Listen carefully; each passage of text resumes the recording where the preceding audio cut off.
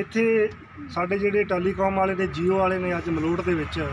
ਇਹਨਾਂ ਨੇ ਦੁਬਾਰਾ ਆਪ ਦਾ ਜਿਹੜੀ ਸ਼ਾਪ ਸੀ ਆ ਦੁਕਾਨ ਸੀ ਜਿਹੜੀ ਇਹ ਖੋਲੀ ਹੈ ਇਹਦਾ ਅਸੀਂ ਵਿਰੋਧ ਕਰਨ ਵਾਸਤੇ ਅੱਜ ਅਸੀਂ ਇੱਥੇ ਇਕੱਠੇ ਹੋਏ ਆ ਤੇ ਇਹਨਾਂ ਨੂੰ ਅਸੀਂ ਬੰਦ ਕਰਵਾਇਆ ਤੇ ਅੱਗੇ ਤੋਂ ਅਸੀਂ ਬੇਨਤੀ ਕਰਦੇ ਹਾਂ ਵੀ ਜਦ ਤੱਕ ਸਾਡੇ ਨਾਲ ਸਾਡੇ ਸਰਕਾਰ ਦੁਆਰਾ ਕੀਤਾ ਧੱਕਾ ਵਾਪਸ ਨਹੀਂ ਹੁੰਦਾ, ਅਸੀਂ ਇਹਨਾਂ ਕੋਆਪਰੇਟ ਘਰਾਣਿਆਂ ਨੂੰ ਉਹਨਾਂ ਚਿਰ ਇੱਥੇ ਪੰਜਾਬ ਦੇ ਵਿੱਚ ਆਪ ਦਾ ਜਿਹੜਾ ਬਿਜ਼ਨਸ ਨਹੀਂ ਕਰਨ ਦੇਵਾਂਗੇ,